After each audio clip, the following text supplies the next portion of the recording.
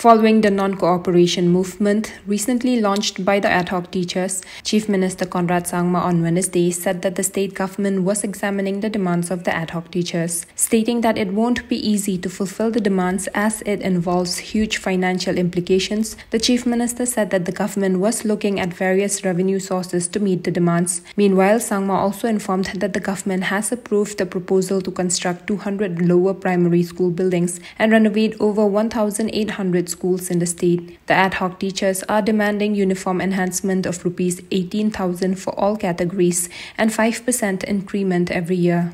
We are concerned about the, um, the non-cooperation aspect and uh, the different uh, demands of the teachers.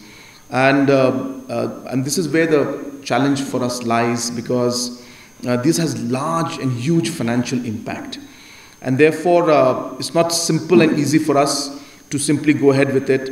Uh, whereas at one point in time, we have constraints in terms of our revenue, and that's the reason why we are exploring the options of gaming and seeing whether we can raise revenue. Because how else to meet the demands of the teachers, and how else to meet the demands of other, uh, uh, you know, for development activities. So we need to balance out both. So we are examining uh, these aspects. I, uh, we'll be talking to the teachers also, and the Honorable Education Minister has already started those discussions. So let us see. I don't think it will be appropriate for me to give any uh, details right now, but all I can say is that we are examining the matter very, very seriously, and we are in discussion with the teachers.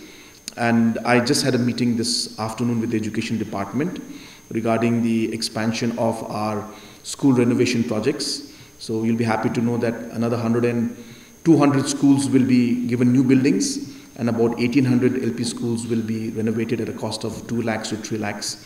Uh, we have just cleared that proposal today um, and uh, close to about 170 crores will be sanctioned through different sources for improvement of infrastructure and renovation and creation of new buildings in over 2,000 schools. 200 of them will be new buildings and 1,800 plus minus will be for renovation. So in that meeting, we discussed about this ad hoc issue also.